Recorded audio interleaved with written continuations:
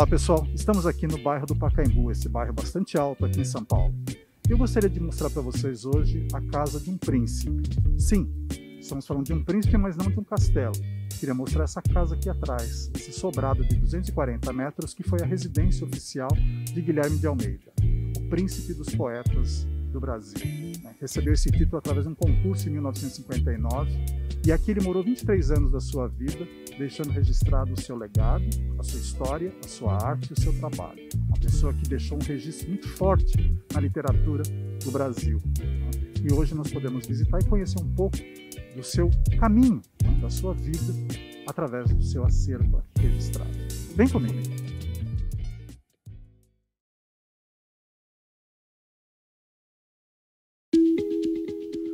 E já estamos aqui num dos cantinhos da Casa da Colina, onde morou então o poeta, advogado, jornalista, crítico de cinema, Guilherme de Almeida. E nesse cantinho conta exatamente um pouco da sua vida, da sua biografia, né, da sua uh, projeção né, na história da cidade de São Paulo. Ao contrário do que pensam, Guilherme de Almeida nasceu em Campinas e não na capital, mas veio para cá muito cedo né, e fez todos os seus estudos aqui, inclusive na Faculdade de Direito do Lago São Francisco então aqui ele se projetou, escreveu as suas primeiras obras. Em 1916 ele fez a sua primeira obra, que era uma peça né, é, de teatro, junto com Oswald de Andrade. E em 1920 Uh, também se projetou com as suas primeiras obras, uh, publicando suas primeiras obras. Em 1922, uh, ele participou então da Semana de Arte Moderna. Aliás, ele foi um dos mentores da, do modernismo no Brasil. Em 1932, participou ativamente da Revolução Constitucionalista uh, de 1932. Né? Então, vejam que Guilherme de Almeida é uma personalidade que amava São Paulo, que tinha uma dedicação muito plena à história e que marcou realmente época e o legado, ao ponto de ter deixado a sua casa como um museu né? e um ponto de visitação onde a gente pode visitar e conhecer um pouco da sua rotina, do seu trabalho, da sua dedicação em prol do Brasil. E aqui estamos então nesse cantinho de entrada da casa de Guilherme de Almeida, que é a sala de estar, onde ele recebia suas visitas, sobretudo os modernistas, né, os seus grandes amigos modernistas. E nas paredes nós vamos encontrar exatamente obras né, desses grandes artistas brasileiros. Né. Então, uh, já no, no, no, canto da, da, sala, a gente já vai encontrar uh, a figura do casal, né, dele e da sua esposa, uma obra do, do Lazar Segal. Vamos encontrar também de Cavalcante, Uh, e os retratos né, de Baby de Almeida, sua esposa, em várias performances, né, além, obviamente, da escultura do Vitor Brecheret, Sola Dolorosa, que foi realmente um presente, né, e em função, obviamente, de uma publicação de um livro dele. Né. Então, são peculiaridades aqui da sala de estar do Guilherme de Almeida. E aqui nós temos, então, a pequena sala de jantar né, da casa do casal, uh, onde ele fazia suas refeições. Lembrando que Guilherme de Almeida tinha como prato predileto cuscuz e leitão a pururuca, né, uma das suas principais delícias. Né? Mas eu estou aqui com a Alexandra, que é coordenadora de ações educativas aqui da casa, e eu gostaria de perguntar sobre esta obra né, que existe aqui na sala de estar. Uh, Alexandra, esta obra que a gente vê na parede, é, o que, que significa? É o retrato realmente do Guilherme? Carlos, esse retrato foi feito por Valdemar Cordeiro, um artista visual brasileiro, precursor da arte com as novas mídias. O curioso é que esta é uma pintura a óleo, rara na obra de Valdemar Cordeiro. Nela podemos ver Guilherme de Almeida sentado na mansarda, junto com uma das suas cachorrinhas, a Minnie. Estamos aqui na sala íntima, o ambiente onde o poeta Guilherme de Almeida se reunia com as suas amizades, sua família, para conversar. Vemos na sala íntima as edições Príncipes, que são os livros dedicados especialmente ao poeta do próprio poeta. É aquele livro, o primeirinho que sai da fornada, que vai para o próprio escritor ou escritora. Essas nossas edições príncipes do Guilherme de Almeida estão encadernadas em verde. Também vemos nesta sala livros raros, entre eles uma segunda reimpressão da primeira edição de Ulisses, de James Joyce. Aqui é o chamado Jardim de Inverno né, da casa do Guilherme de Almeida, um lugar mais informal. É isso mesmo, Alexandre? Sim, Carlos. Aqui era o Jardim de Inverno, local onde o Guilherme de Almeida descansava vendo TV, escutando a vitrola, talvez até na rede que ficava bem aqui atrás da gente. E hoje em dia nós podemos ver no Jardim de Inverno o que o Guilherme de Almeida também via, ou seja, obras de Di Cavalcante pelas paredes, Tarsila do Amaral, Anita Malfatti, Samson Flexor, dentre outros. No primeiro piso da casa, nós vamos encontrar esse nicho, né, com destaque as principais obras né, do Guilherme de Almeida.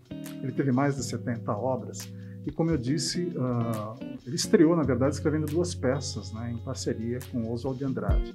Mas a sua obra mesmo saiu em 1917, né, a obra chamada Nós. Né? Ele tinha uma, uma, característica muito específica e, posteriormente, ele acabou também publicando uh, a, a, obra Eu e Raça, né, com um aspecto mais modernista, em função da Semana de 22. Uh, ah, ele dizia que a poesia era constituída uh, de ideia, de ritmo, né? e ele tinha uma, uma poesia muito simétrica né, e muito musicada, muito ritmizada. Né? Então, ele era, na verdade, considerado maestro né, da, da poesia. E nós vamos encontrar aqui uma grande característica dele, que era a tradução. Ele era especialista em tradução de poesia, sobretudo na literatura francesa. Ele traduziu Baudelaire, Valery, enfim, vários outros especialistas, né, poetas né, franceses, e essa era a sua grande especialidade, não só do francês, mas de outros idiomas também. Então ele foi muito renomado, deixou obras bastante importantes para a literatura brasileira e participou, obviamente, de todo o processo do modernismo, foi um dos mentores do modernismo no Brasil. O acervo do Museu Casa Guilherme de Almeida inclui as obras né, de arte dos grandes modernistas que presenteavam né, o Guilherme, além disso, as mobílias que foram colecionadas ao longo do tempo pelo casal e também, principalmente, pela biblioteca, composta de vários títulos, né, pela hemeroteca e também pelo acervo fotográfico.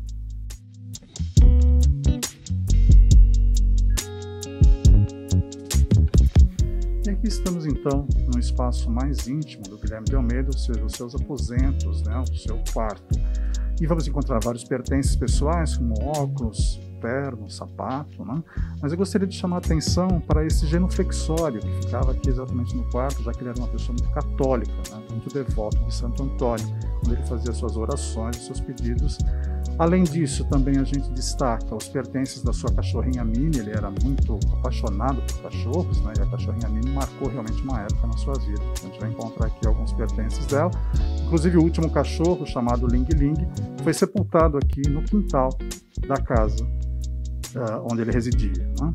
Então, tá aí a referência. Além disso, um marco, né? A obra O Anjo, né? Da Anita Malfatti, aqui no seu quarto também em destaque.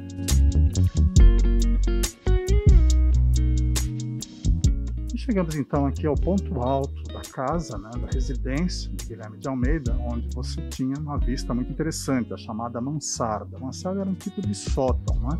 e aqui então era o seu espaço criativo, onde ele criava, onde ele refletia e onde ele guardava suas obras pessoais. Né? Então vamos encontrar aqui com grande destaque as armas com a qual ele participou da Revolução Constitucionalista de 1932 na cidade de Cunha, né? o seu cap, a arma, onde ele defendia, né, de forma veemente, o estado de São Paulo. E aqui, no alto de sua mansarda, ora sentado na cadeira central, escrevendo na máquina de escrever, ora nessa outra cadeira, escrevendo de forma descompromissada, ao lado do seu copo de uísque, do seu cinzeiro, Guilherme refletia, escrevia, produzia, traduzia obras fantásticas. Tá? Este era o seu verdadeiro mundo, o seu universo. Passava horas aqui e simplesmente adorava esse espaço. Tá? Ele gostava de subir, mas não gostava de descer as escadas que davam acesso à sua mansarda. E é aqui, da janela da sua mansarda, que Guilherme de Almeida registrou em seus versos o que era de fato morar num espaço como esse, num local como esse, onde ele podia auscultar o Vale do Pacaembu lá embaixo. Ele dizia que morava ao lado da alegria, por estar próximo ao estádio municipal Paulo Machado de Carvalho, um lugar divertido, de esporte, e do outro lado, um lado de tristeza, a necrópole do Araçá, o cemitério do Araçá. Dizia que em épocas de chuva, A lama escorria morro abaixo. Dizia que os gaviões voavam baixo, aqui em volta da sua casa. E podia ver, inclusive, ao fundo, o prédio do edifício né, do Estado de São Paulo, o Banco do Estado de São Paulo, que hoje já não é mais possível ver. Realmente o progresso tomou conta do seu entorno, mas a memória viva de Guilherme de Almeida está presente ainda aqui na sua mansarda.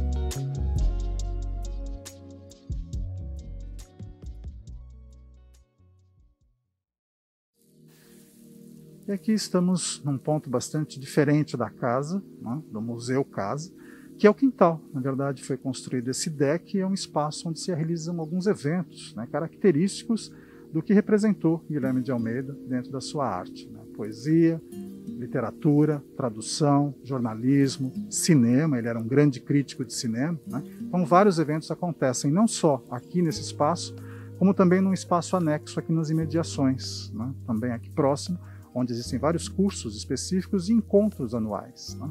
Então, um espaço onde a cultura é viva e onde se mantém uma programação bastante intensa. Para acompanhar essa programação, é você acessar o site casaguilhermedealmeida.org.br. E o endereço é Rua Macapá 187, no bairro do Pacaembu. Esperamos que tenham gostado e esperamos vê-los no nosso próximo episódio. Até lá!